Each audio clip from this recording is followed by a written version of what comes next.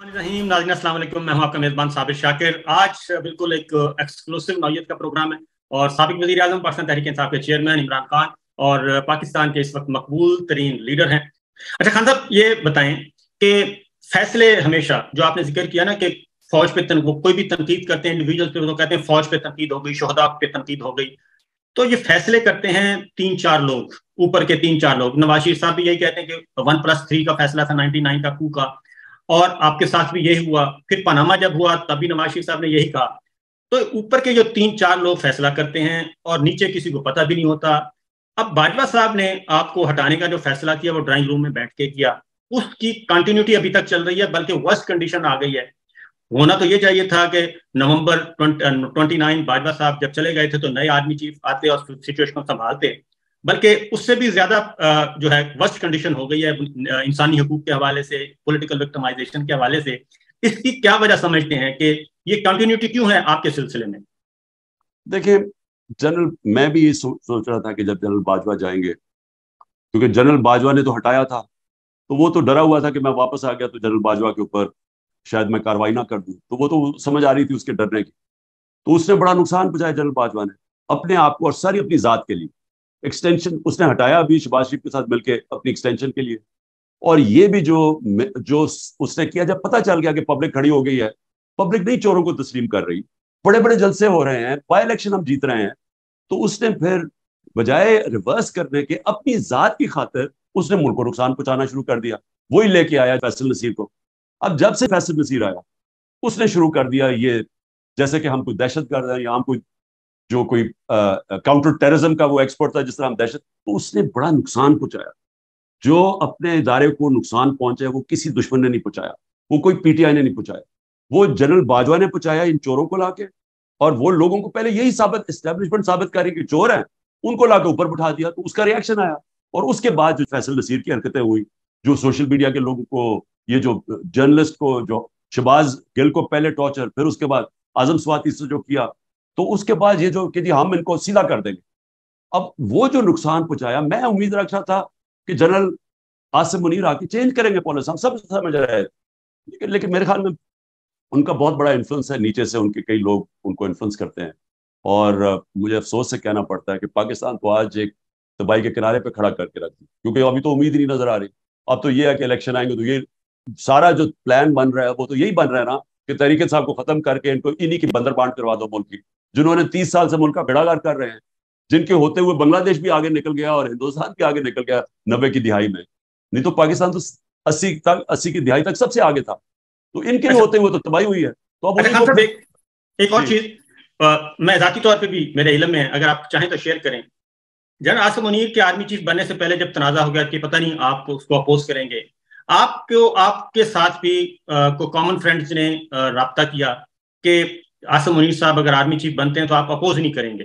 तो आपने भी उसको वेलकम किया और कॉमन फ्रेंड्स ने आपको भी कायल किया और कुछ को मैं जानता हूँ। तो जैसे ही ये काम हो गया उसके बाद वो कॉमन फ्रेंड्स कहीं गायब हो गए या किधर चले गए? क्योंकि आपने वेलकम किया आर्मी चीफ को।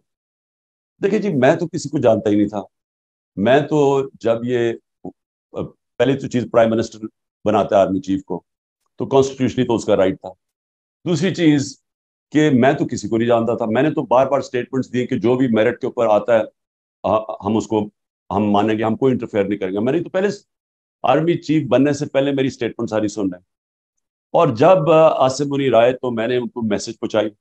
मैंने कहा देखो मुझे ये पता चला है कि लंदन प्लान बना हुआ और नवाज़ शरीफ ने आपसे ये गारंटी लिया कि आपने पीटीआई को खत्म करना है। और मुझे। तो मैंने कहा, मुझे ये मैसेज मिली है। ये इनके बनने से पहले मैंने वही जो कॉमन फ्रेंड की बात कर, उसे मैसेज पहुंचाई। उसने आगे से कहा, उन्होंने कहा, बिल्कुल फ़िक्र ना करो, कोई ऐसी चीज़ नहीं हो। बहरहाल, हमने तो वैसे भी रोकना नहीं था। तो डॉक्टर अभी मुझे यहाँ मिलने आया और हमने फैसला किया। हमने कहा, ठीक है, हम अपोज नहीं करेंगे। लेकिन मुझे अफसोस से कहना पड़ता है कि जो उसके बाद हुआ, वो छोड़े कि इमरान खान से क्या हुआ? मेरे घर पे ये जो अटैक हुए और ये जो सब कुछ मुझे दूसरी तरफ़ मेरे ऊपर कत्ल का कोशिश की गई। एक और फिर कोशिश प्लान बना हुआ था। वो छोड़े, मैं मुल्क की बात कर रहा कि आज सिर्फ़ मुल्क देखने किधर खड़ा मुझे सिर्फ़ ये बता दें कि ये हो सकता है कि एक मुल्क जो छह फ़ीसद के ऊपर, छह छह इशारिया एक फ़ीसद के ऊपर ग्रो कर रहा हो वर्ल्ड बैंक तारीफ़ कर रहा हो, वो आई एम एफ़ तारीफ़ कर रहा हो कि पाकिस्तान में सस्टेनेबल ग्रोथ हो रही है, माशी तौर पर आगे जा रहा हो। और एकदम एक साल के अंदर आज मुल्क घुटनों पर है, बेरोजगारी बढ़ गई है, इन्होंने तीन अरब डॉलर लिया है आई एम एफ़ से और बड़ा खुश हो रहा है। तो सात अरब डॉलर की डॉलरों की कमी हो चुकी है एक साल में। यानी जो हम एक्सपोर्ट्स पे, जो नुकसान, कम एक्सपोर्ट्स कम हुई हैं और जो रेमिटेंसेस कम हुए हैं, वो सात अरब डॉलर कम हुआ है हमारे दौर से। तो सात अरब डॉलर कम होकर तीन अरब डॉलर का कर्जा ले लिया यानी आपकी दौलत सुकड़ती जा रही है। आपकी आमदनी सुकड़ती जा रही है और कर्जे बढ़ते जा रहे हैं और खुशियाँ बना रहे हैं सारे। तो ये जो मुल्क का हाल किया है कोई तो इसका जिम्मेदार होगा और मीडिया को कंट्रोल कर लिया वही मीडिया जो शोर बचाया करता था कि जितनी महँगाई होगी। आज अड़तीस फ़ीसद महँगाई है पाकिस्तान में। हमारी बारह फ़ीसद, बारह इशारे दो या तीन पे सारा मीडिया शोर मचाया हुआ था कि तबाह हो गया मुल्क आज चुप करके मीडिया बैठ कंट्रोल में आ गया। आज कोई बात नहीं कर रहा है कि बेरोजगारी कितनी है। आज कोई नहीं बात कर रहा है कि आम आदमी, तनख्वाहदार आदमी का क्या हालात है। बिजली के बिल किधर चले गए हैं? लोड शेडिंग कितनी हो गई है? ये सारा मीडिया चुप करके बैठा हुआ है। अच्छा खान साहब, ये बताएँ कि मीडिया तो खामोश है, वो तो बहुत बड़े बड़े नामवर लोग जो हैं वो भी खामोश हो गए हैं। अगर आपके आपके साथ प्लान ये है, जो हमारे पास इंफॉर्मेशन है, कि जैसे ही जस्टिस काजी फाइज साहब आएँगे, वो चीफ जस्टिस ऑफ़ पाकिस्तान बन जाएँगे, उसके बाद इलेक्शन की डेट अनाउंस हो, और इलेक्शन शेड्यूल भी उनके आने के बाद आए, ताकि नवाज़ शरीफ साहब की सजाएँ बकौल उनके, ये पी एम एल एन की है कि नवाज़ शरीफ साहब की सजाएँ खत्म हो जाएँगी, उनकी सजाएँ खत्म होकर वो क्वालिफाई कर लेंगे और आपको डिसक्वालीफाई कर दिया जाएगा। और उसके लिए जो माहौल बनाया गया है जस्टिस काजी फाइज साहब के लिए, कि आपने उनके खिलाफ रेफरेंस फ़ाइल किया। आप अगर पूरी बात बता दें, क्योंकि मुझे तो पता है, लेकिन मैं चाहता हूँ आप पूरी बात बता दें कि जस्टिस काजी फाइसा साहब को के खिलाफ जब रेफरेंस आया था, वो कहाँ से आया था और वो किसने तैयार किया था, ये मुझे बता दें, क्योंकि उस वक्त डीजीआईएसआई जो थे, वो कोई और थे। देखिए पहले तो क्या होगा आगे वो तो अल्लाह ही बेहतर जानता है। मेरा तो फैसला ये है कि मैं जब तक ज़िंदा हूँ तो मैं तो अपनी मिशन के साथ खड़ा हूँ इंसाफ की तहरीक के साथ कि जब तक इस मुल्क को इंसाफ नहीं होता वैसे ही मुल्क का कोई मुस्तकबिल नहीं। यानी अगर आप सिर्फ़ इकोनॉमी देख लेना तो जब तक इस मुल्क के अंदर कानून की हुक्मरानी नहीं आती यहाँ मुल्क आ, हमारा मुल्क सिर्फ़ कितनी देर आप कर्जे किससे और कर्जे लेंगे कर्जे तो बढ़ते जा रहे हैं। अब ये जो कर्जा लिया ये वापस भी तो करना ना अगले साल। तो किधर से करना है? जब आपके पास आमदनी सुकड़ती जा रही है तो कर्जे किधर से वापस करनी है? आमदनी तब बढ़ेगी जब मुल्क में सरमायाकारी हो। सरमायाकारी तब होगी जब जो सरमायाकार है उसको मुल्क के इंसाफ के निज़ाम के ऊपर एतमाद होगा। जब जब तक सरमायाकार कभी सबसे बुजदिल होता है सरमायाकार क्योंकि मुश्किल से अपना पैसा इकट्ठा करता तो वो तो तब तक नहीं करेगा जब तक उसको एक सिस्टम पे एतमाद नहीं होगा। या तो सुप्रीम कोर्ट के फैसले गवर्नमेंट ही नहीं मानती। चौदह मई का इलेक्शन है और गवर्नमेंट कहती है भाग जाओ। अब वो आ रहे हैं मिलिट्री कोर्ट्स के खिलाफ अभी केस चल रहा है। तो गवर्नमेंट के वज़ीर कह रहे हैं जी अगर अगर मिलिट्री कोर्ट्स के खिलाफ फैसला आया मानते नहीं। तो जो सुप्रीम कोर्ट का फैसला नहीं मानते किसने अपना पैसा लेके आ रहा है? तो इनको समझ नहीं आ रही कि मुल्क का जो फ्यूचर है वो डिपेंडेंट है गवर्नेंस वो आएगी रूल ऑफ़ लॉ से। अब आ जाए जी के काजी मैं काजी फाइजी साहब को ज़िंदगी में कभी नहीं मिला।